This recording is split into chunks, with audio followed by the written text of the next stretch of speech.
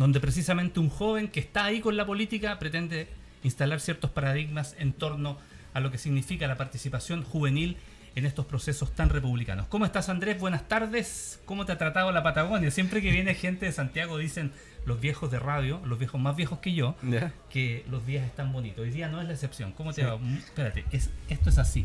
Ahí. Muy buenas tardes. Muy buenas tardes también. Muchas gracias por, por recibirnos. Muchas gracias a todas las personas que nos están viendo, nos están escuchando. Y qué grato ser parte de esta prueba del nuevo sistema. Porque son manos nuevas nomás, el sistema está impeque. Perfecto, no se puede manejar el amigo Felipe, pero esperemos que no. Y como dices tú, eh, nos han tocado, nosotros llegamos ayer, y nos han tocado días espectaculares. Eh, estamos visitando la región en el marco de una gira que iniciamos en la región de Coquimbo. Eh, la UDI se fijó como objetivo cooperar con 10.000 apoderados de mesa para la elección porque nosotros creemos que va a ser una elección bastante estrecha y por lo tanto eh, queremos copar todas las posibilidades de que la elección se desarrolle de la mejor forma posible y no haya lugar a dudas respecto al resultado. Eh, Sebastián Piñera o el Comando Central tiene la intención de copar todas las mesas con apoderados de mesa, son alrededor de 42.000. Entonces esto es cerca de un 25% y en marco de esa misión que nosotros como Directiva Nacional de la Juventud empezamos este recorrido desde la región de Coquimbo y hemos ido pasando por las principales ciudades de Chile en los paseos peatonales, en las plazas de armas, etcétera, recorriendo y aparte de invitar a votar el, día domingo 17, que ya es impresionante, ya por fin llega, eh, a participar como apoderado de mesa para defender los votos del presidente Piñera. Bueno, esa lógica que se ha instalado, Andrés, de defender voto a voto, eh, tiene que ver un poco con lo estrecho que dicen los entendidos en estadísticas y en este tipo de cosas que va a ser esta elección. ¿Es una mirada transversal también? ¿Ustedes como sector político sienten que va a ser más estrecha incluso cuando eh, creo que Lagos le ganó a Lavín mm. o, Piñera le ganó a, Frey también por muy, muy poco margen? Ambas fueron elecciones súper estrechas y, y sí, nosotros creemos que va a ser una situación más o menos similar. Eh, pese a ello, nosotros creemos que eh, Sebastián Piñera va a salir electo por la forma en la que se iba desarrollando la campaña. La verdad es que la campaña después de la primera vuelta es muy corta. Entonces la posibilidad que tienen los candidatos para hacer algo que llame la atención y que cambie un poco el paradigma de la persona es, es difícil hacerlo. Eh, uno como partido político, como joven, puede cooperar, aparte de haciendo la campaña tradicional, con, por ejemplo, teniendo apoderados de mesa, sobre todo suponiendo que va a ser una elección eh, súper reñida. Pero, además de eso, eh, recorriendo las regiones y visitando las distintas juventudes regionales, porque es una cosa que nos ha caracterizado mucho. Se suele decir que los jóvenes no están ni ahí en política, pero yo siempre he dicho que esa es una frase cliché y, y de mentira, es un mito. Porque en realidad, cuando uno se pone a analizar distintos estudios que muestran en qué está participando hoy día la juventud en Chile, te arroja que sí participamos en distintas organizaciones sociales, como pueden ser clubes deportivos, algunos en algunas juntas de vecinos, eh, en federaciones de estudiantes, etcétera. Pero ellos, o, o la juventud en general, no asocia que en esas eh, organizaciones también se toman decisiones políticas. Bueno, en los partidos políticos que son el órgano ideal para hacer eh, válidas estas aspiraciones y poder legitimarlas en el proceso democrático en Chile, a través de candidaturas, etcétera, y, de puestos en el Congreso, en el Consejo Regional, los alcaldes, los concejales, los presidentes, eh, no puede quedar ajeno. Y es más, cuando uno se pone a analizar esos datos, la participación juvenil dentro de organizaciones de la sociedad en los partidos políticos está al último lugar. Entonces nosotros también tenemos que hacer una autocrítica. Y en marco de eso, quisimos aprovechar esta gira, no solamente para hacer campaña, captar apoderados, sino que también para potenciar las juventudes regionales que nosotros tenemos. Acá en la región de Aysén, este año recién fundamos la, Juventud de la UDI, la preside Pachi Sabac. Eh, está ahí atrás, después va, a aparecer, sí. Eh, una muy buena presidenta que tiene mucha eh, energía y la verdad es que ha funcionado bastante bien se después se fundó una, juventud en Puerto Aysén, no solamente en Coyhaique, y la intención está en formar una juventud en Cochrane de tal manera tener una presencia regional importante. Así como sucede acá, tener en las otras regiones del país. Hablemos un poco de lo que pasó el 19 de noviembre, Andrés, porque tú representas un partido ya tradicional que está desde el día 1 en esta nueva etapa de la democracia chilena, pero en esta elección pasada irrumpió el Frente Amplio por una parte, con todo su componente juvenil, y está en el, en el sector de Chile Vamos un José Antonio Cast, que también de una u otra manera se transformó en una bisagra al interior del sector. Eh, más allá de lo ideológico, porque hay diferencias entre quienes apoyan el Frente Amplio y quienes apoyan a Cast, ¿qué te parece a ti que jóvenes también se hayan sumado a ambas candidaturas y hoy día rompan lo que tú acabas de decir? Que hay juventud que tal vez no está en los partidos tradicionales, pero sí está prospectando en, nuevos movimientos, en nuevas colectividades. Sí, yo creo que eso es precisamente lo que te estaba diciendo. Se están buscando formas de poder participar hoy en día en la vida política y yo creo que eso es súper positivo. La misión nuestra como partidos políticos es poder encantar a esas personas y, que entiendan también que los partidos políticos son un medio, de hecho el medio ideal, porque la ley te da todas las herramientas a través de los partidos políticos para poder hacer efectivas esas demandas y tener representación en puestos como el Congreso. En eso nosotros tenemos una misión. Y por eso es que es tan importante que los jóvenes se involucren en, en la vía partidaria. Y por eso es tan importante lo que estás realizando aquí, Pachi Sabac. Pero como decías tú, efectivamente, eh, esta participación y estas ansias de participar son a nivel transversal. Eh, pese a ello, yo creo que el Frente Amplio hizo una, una peguita antes que nuestro sector. Y, y los resultados están a la vista ellos tienen una bancada que en general el promedio de edad es más joven que el que tenemos nosotros. Pero el trabajo se está haciendo con mucha seriedad también en distintas regiones de Chile y eso es lo que aspiramos.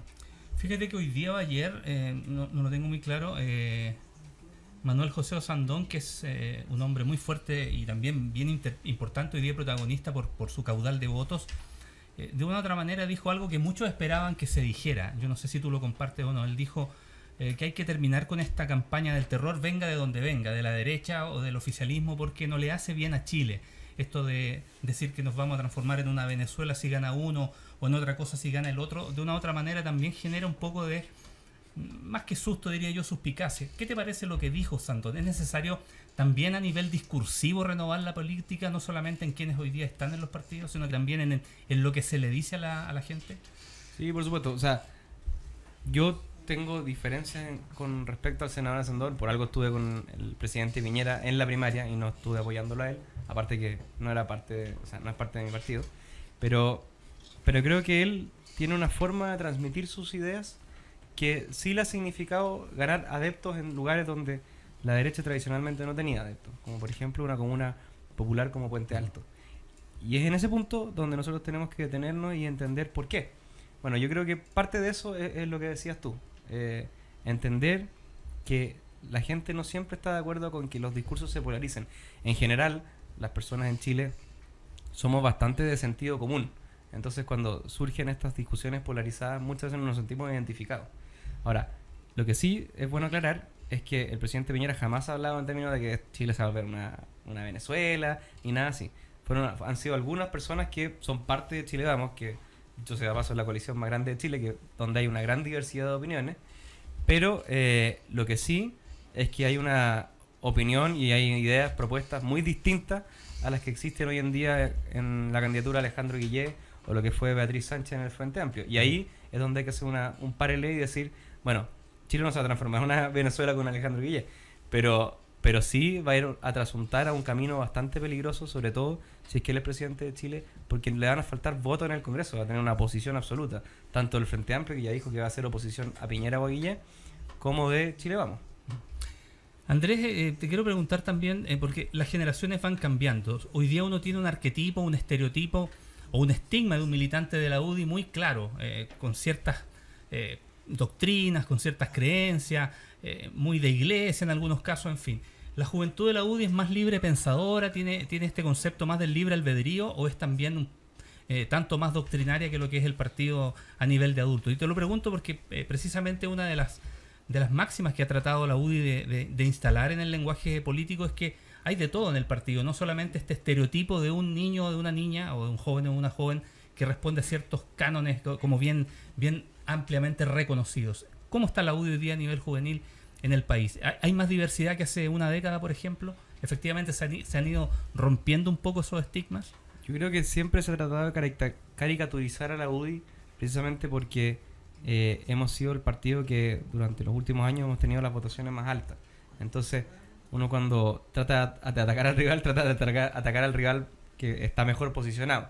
Y en ese sentido, eh, algunas de esas caricaturas han permeado en, el discurso público. Eh, pero en realidad la UDI es un partido que históricamente se ha, caracterizado por tener diversidad de opiniones. Un ejemplo súper concreto. Después de la muerte de Jaime Guzmán, que es nuestro fundador, que efectivamente es una persona bien católica, el que asumió la presidencia de la UDI fue una persona que era libre pensador, que fue Julio Dilborn. Y nadie puso un pero sobre la mesa, nadie se opuso, porque se entendió que aquí lo importante era el proyecto colectivo y que no somos un partido confesional, no somos un partido de la iglesia.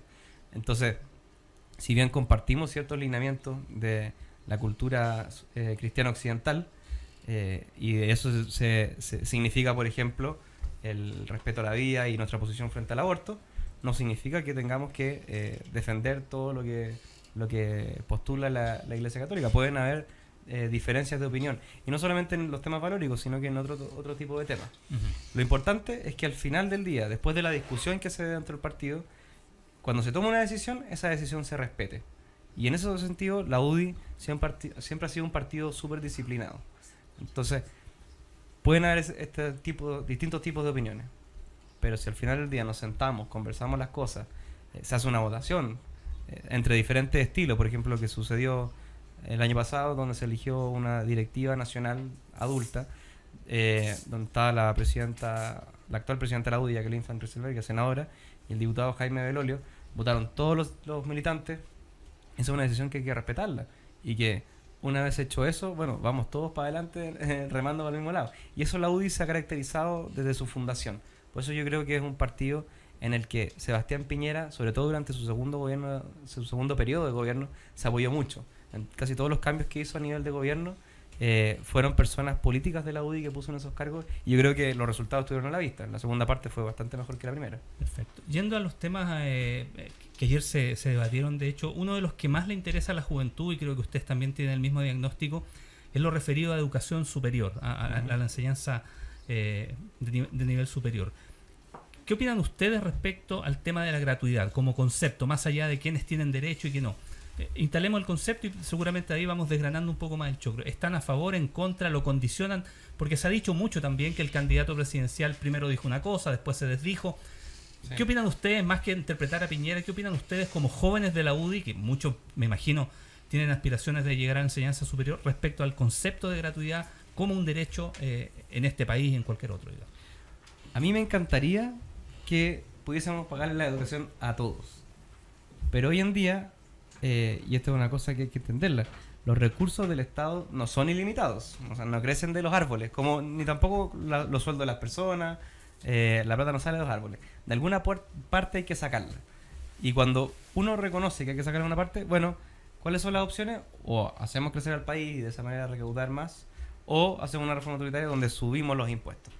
Cada una de esas opciones tiene eh, distintas consecuencias.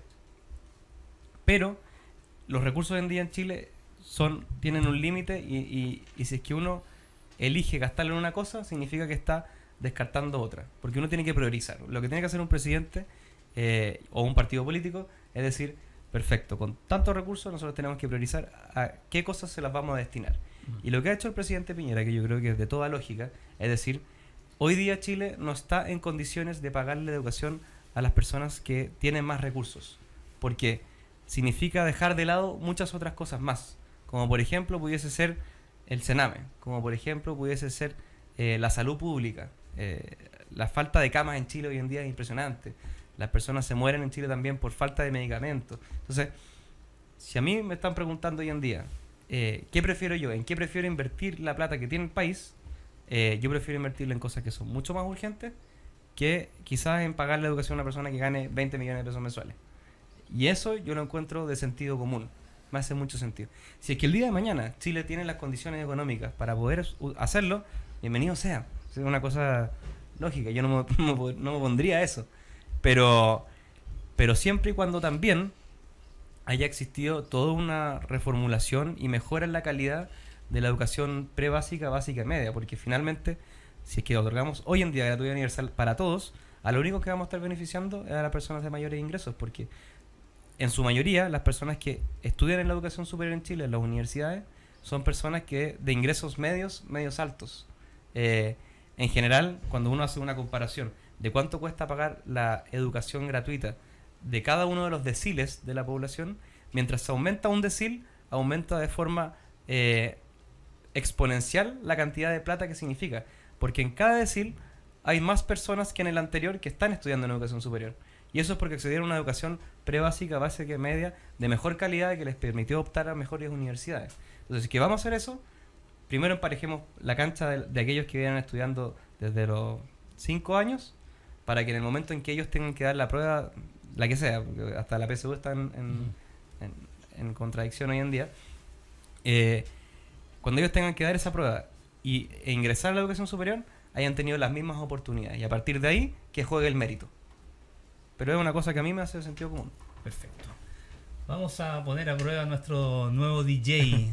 Vamos con el tema de virus, estimado Felipe, para hacer un breve alto musical. Luego seguimos conversando con Andrés y también con Pachi, que se va a integrar un poco al panel para hacer este llamado a los jóvenes de Aysén para que participen el día domingo en la elección en el balotaje, le dice del otro lado. Yo le digo la segunda vuelta. Música y Punto de Vista junto a Hugo Araya Leiva.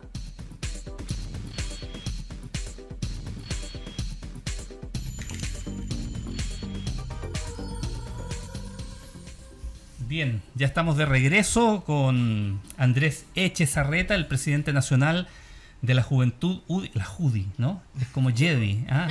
Y ahora estamos con la presidenta regional de esta misma colectividad, con Pachi nomás, para todos los efectos, con Pachi Sabac, quien, bueno, ella también como responsable del partido a nivel territorial quiere aprovechar nuestros micrófonos, nuestra cobertura para invitar, para seducir a los jóvenes el día domingo a ser parte, a ser protagonistas de este proceso republicano, eleccionario, como uno le quiera poner, pero es fundamental, porque eh, los comerciales lo dicen, después las decisiones se toman, aunque sea con baja representatividad, pero se toman igual. ¿Cómo estás, Pachi? Eh, un tremendo desafío este. ¿eh? Quedan cinco días en rigor para, la elección. ¿Tú crees que se va a poder eh, tal vez romper esta, yo digo siempre, este, este tablón grueso que le, ha puesto tanto techo al tema de la participación y que ha instalado con mayor fuerza la, abstención? ¿Se puede revertir? ¿Crees tú que Chile puede empezar a caminar por ese sendero a partir de lo que se juega el, el domingo? Por supuesto que sí. el generar el concepto en las personas eh, de que no dejes que otros decidan por ti. Es el mensaje que yo le doy a los jóvenes de la región y, también del país entero. No dejes que otros decidan por ti. Yo lo pongo en el caso, por ejemplo, de nuestras bisabuelas, que lucharon tanto para que las mujeres pudieran votar, por ejemplo. Y hoy en día, ¿cuántas mujeres no votan? No, no están ni ahí. Muchos jóvenes dicen no estoy interesado, no cacho nada de política.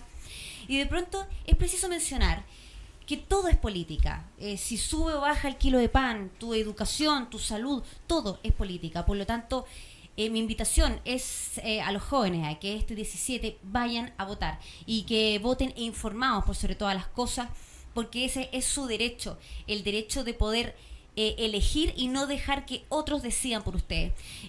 bueno, respecto a lo que es la juventud UDI, acá en la región Hugo, nosotros la hemos conformado ahora este año y, y te voy a decir que ha costado un poco porque aquí los jóvenes son un poquito tímidos, por así decirlo, eh, los de derecha, eh, respecto a lo que es eh, promover nuestra línea política de forma más pública, más, más enérgica. y es por eso que el partido me ha dado la oportunidad de poder promover energía en los jóvenes, porque yo soy muy enérgica, y de, y de poder decirles, ok, tú tienes una línea UDI, no te avergüences de eso, todo lo contrario, siéntete orgulloso y siéntete partícipe de nuestro partido y ese es el concepto de nuestra juventud. Eh, que, hayan, que hayan jóvenes que quieran participar, que quieran dar a conocer su línea política sin ninguna vergüenza, todo lo contrario, con, con todo el orgullo que amerita eso, ¿no es cierto? Por otro lado, es preciso mencionar que está, lo que conversaba anteriormente con Andrés, eh, estamos catalogados los judíos como, como gallos extremadamente fachos, militares, ¿no es cierto? ¿Y qué sería de los partidos políticos si los jóvenes, si los jóvenes somos la continuación de los partidos políticos en unos años más?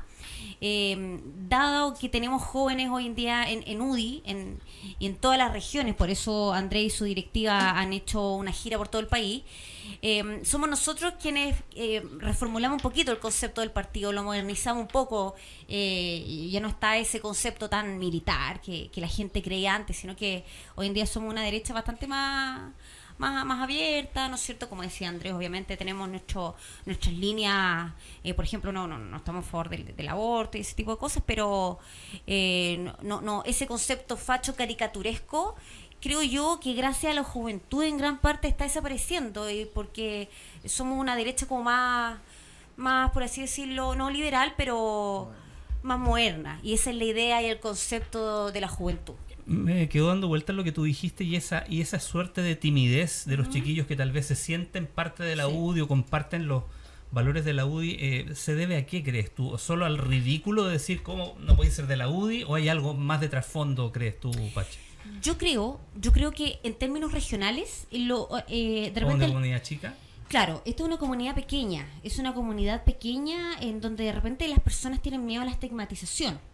Eh, y a lo mejor por un tema cultural de nuestra región, que quizás la gente no, no tiene tanto carácter en general, o los jóvenes no son criados con tanto carácter, eh, le- les da un poquito de, de nervio decir, oye, soy de derecha y, y si otro viene y me dice algo... eh, la idea es, es poder promover que, que si los jóvenes piensan y tienen una línea UDI, que se integren. Nosotros ya creamos una directiva, una juventud, eh, y, y quiero en ese aspecto agradecer en, en el partido a nuestro, bueno, ahora senador don David Sandoval y a Néstor Mera, eh, y en Anicena al el presidente provincial Carlos León, quienes no- nos han impulsado a los jóvenes del partido a ser partícipes. ¿Sabes, Hugo, lo difícil que es que en los partidos de derecha, no sé por qué exactamente, te lo juro, pero existan directivas juveniles es una cosa, es una tarea eh, eh, imposible. Entonces, de todo Chile vamos, solamente UDI tiene una directiva regional y tenemos en Aysén también una directiva provincial y ahora se está creando una en Cochrane. Entonces, eh, hemos crecido a pasos bastante grandes. Cuesta, sí, eh, de repente que los jóvenes agarren ese entusiasmo por la política, pero de pronto cuando empiezan a agarrar el gustito, eh, todo es como por un tubo. ¿Tú sientes que es más tolerante el joven de hoy que, que el adulto de hoy? Tolerante, digamos, al hecho de, de poder compa- compartir con gente que no piensa lo mismo, que tiene una cosmovisión absolutamente diferente, pero así todo a través de esto que hemos forjado entre todos, que es una democracia bastante sólida ya, se pueden eh, superar esas trancas más, más que trabas. Yo digo trancas porque muchas veces, a, a- a veces la convivencia entre un tipo de derecha y uno de izquierda o de más de extrema izquierda era muy complicado. Hoy día como que hay, por lo menos a nivel de juventud, en Santiago las juventudes políticas están dando señales Sí. de que es posible. ¿Ustedes idealmente les gustaría replicar algo como eso en, en todo el territorio? Pero por supuesto, eh, creo yo que mm, de pronto dentro de las ideas de izquierda y de las de derecha se pueden llegar a ideas intermedias súper buenas o se pueden crear ideas súper buenas. consensos al O consenso, a consenso. Y esa es la idea, ¿no es cierto? Eh, poder de algún modo eh, unirnos dentro de lo que se pueda, se puede. Y, es, y esa, esa es la idea también de que nosotros podamos generar una directiva de- del lado de Chile Vamos. Tengo entendido, tengo entendido que nuestra acá en Coyhaique hay directivas juveniles del- por el lado de la izquierda, dos, pero por el lado de Chile Vamos no había ninguna. Esta ha sido la primera. Por lo tanto, ha sido un gran paso. Un gran paso decir, ok, eh, si hay jóvenes de izquierda, ahora nosotros también somos jóvenes de derecha, debatamos, conversemos, hablemos sobre nuestros ideales y, y esa es la idea que hay en juventudes, que de ambos lados, eh, que se empiecen a abrir más las conversaciones de distintos puntos de vista de nuestra región, que quizá en tiempo antiguo habrá sido un tabú porque eh, siempre se ha visto más en la izquierda los jóvenes y ahora no, ahora los jóvenes estamos presentes en, por el lado de la derecha, específicamente en nuestro partido UDI y estamos total y absolutamente abiertos a conversar con jóvenes de otros partidos políticos, de izquierda, de derecha, eh, para llegar a consenso y siempre, por supuesto, en el aura del respeto. Bien, pues gracias Pachi, le vamos a... Quédate ahí nomás, si no te, no te vayas, porque nos, nos quiebras el, el, el tiro de cámara. Eh, Carlos, perdón, eh, Andrés, no sé en qué Carlos estaba pensando. ¿Qué se juega Chile desde el punto de vista de la UDI el día domingo? ¿Cuál es la importancia de esta elección y cuál es la importancia también de que el voto juvenil de una u otra manera deje un sello, deje una impronta en lo que va a ocurrir el día domingo? Bueno, la verdad es que el día domingo nos enfrentamos a dos candidatos que, al menos en la propuesta, son bastante distintos. Eh, por un lado está Sebastián Piñera, que tiene un programa de gobierno eh, sólido, serio, que ha, estado, ha sido trabajado por expertos, eh, que, cuyas propuestas no solamente está escrita en el papel, sino que también sale el costo de cada una y cómo financiarlas. Y por la contrapartida está Alejandro Guille, que sacó un programa de gobierno de un día para otro, o sea, eso fue incluso objeto de discusión pública, eh, pero que además no ofrece ninguna gobernabilidad. Algo adelantaba hace un momento. eh, el día de mañana, cuando Alejandro Guía, si es que llega a ser presidente de Chile y envía un proyecto de ley al Congreso, va a tener que negociar con el Frente Amplio, que ya dijo que, ya dijo que no va a ser, o sea, que va a ser oposición a su gobierno. Pero también va a tratar de buscar por, por Chile Vamos. Y entre el Frente Amplio y Chile Vamos hay diferencias abismales. Entonces, cuando él quiera desarrollar ese programa de gobierno, que por lo demás cuesta una cifra estratosférica, se hizo un cálculo otro día, salió en la prensa, que es alrededor de 40 mil millones de dólares. Y estaban criticando a Sebastián Piñera porque el suyo costaba 14 mil. Entonces, ¿cómo financias tú eso? Y una vez que logras destrabar esto, como la, la fórmula para financiarlo, ¿cómo logras que las personas del Congreso, que los congresistas, que los parlamentarios voten es por eso a favor cuando las dos coaliciones más grandes, eh, o, la tercera más grande y la primera más grande, son oposición a tu gobierno? Versus Sebastián Piñera, que tiene que cuenta con el respaldo de la coalición más grande de, de Chile, que es Chile Vamos, eh, que cuenta con la bancada de diputados más grande, la bancada de senadores más grande. eh, y no solamente eso, sino que ha ampliado sus respaldos por parte de otros movimientos políticos de centro, como podrían ser Ciudadanos, que es parte del Mm. eh, movimiento de Andrés Velasco. Él ha concitado una unidad, ha ido a buscar los votos del centro político, versus Alejandro Guille, que está tratando de capturar los votos de Beatriz, Beatriz Sánchez, que está más a la izquierda. Él abandonó ese centro político. Eh, y no es baladí que hoy en día la, la DC haya caído en, en un quiebre y una crisis interna, porque eso se venía preparando incluso en el gobierno de la presidenta Bachelet. Cuando tú tienes una coalición que donde los principales partidos hoy en día están fracturados, el PPD bajó su, su representación de forma abismal, eh, la DC también, que eran partidos ejes de los gobiernos de las coaliciones de, centro izquierda, y hoy en día están pasando por una crisis. No solamente eso, sino que emergió un tercer conglomerado de izquierda que te está tratando de- de- de capturar a los votantes que históricamente han votado por ti, va a ser muy difícil gobernar el país. Entonces, claramente yo creo que Alejandro Guillén no es Nicolás Maduro, no va a tratar de convertir Chile en Venezuela, pero sí se le va a competir, se le va a complicar bastante. Y eso, sumado a un programa de gobierno que es súper ambiguo, eh, lo vimos ayer en el debate, eh, podría ser bastante peligroso para, para Chile, quizás no para un año más, no para dos años más, pero sí al final de ese gobierno que, que Chile no sea el país que hoy en día tenemos. Versus un Sebastián Piñera, que es un presidente que tiene experiencia, ya fue presidente, está mejor preparado, cuenta con respaldo en el Congreso. Eh, ahí yo no me pierdo y yo el domingo 17 llamo a los jóvenes a votar por Sebastián Piñera.